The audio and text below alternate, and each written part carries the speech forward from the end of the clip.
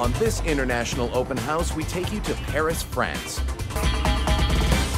We're here to show you how the locals live, so let's leave the tourists behind and head to the hoods. The 9th arrondissement has a diverse reputation. It's home to the ornate Palais Garnier, which was built to house the Paris Opera.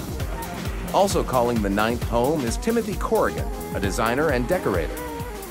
He chose this neighborhood for its history and for the numerous antique stores and galleries located just blocks from his flat.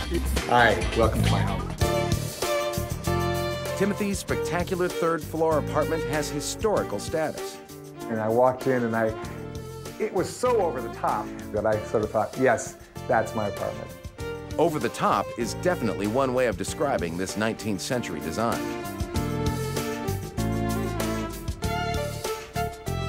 Gilded paneling, crystal chandeliers, 17-foot ceilings, and more doors in each room than you would ever think necessary. The living room alone has two doors from the hall, two sets to the balcony, and hidden behind these 18th century paintings on each wall, two more doors connecting to the adjacent rooms. You see it a lot in the 18th century and the 19th century, and um, all doors were kept closed. When you went into a room, you closed the door, and it provided greater privacy. The apartment's protected status limits any potential change he could make to live here so he's had to learn to make the most of several of its unusual features. The dining room doubles as his office.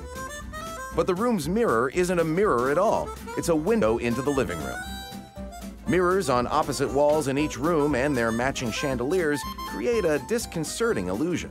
When you look down, you truly get a sense of infinity because you get hundreds and hundreds of the chandeliers being reflected in both sets of the mirrors.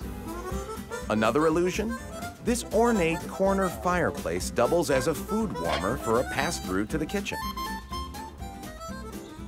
The kitchen is the one room in Timothy's apartment that is decidedly not 19th century. But as someone who is always on the go, it's also the room he uses the least. Considered spacious by Parisian standards, this 1,200 square foot apartment also has two bathrooms and two bedrooms. But if you decide to unpack and make yourself at home, you'll quickly pick up on another aspect of Paris apartment living.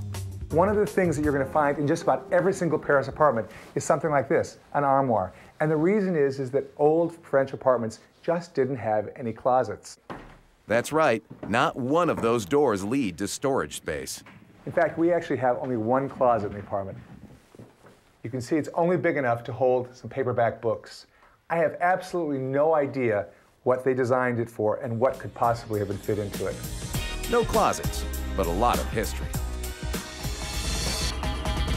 Till next time, remember, the best way to know a country and its people is to get inside the incredible homes they live in on International Open House.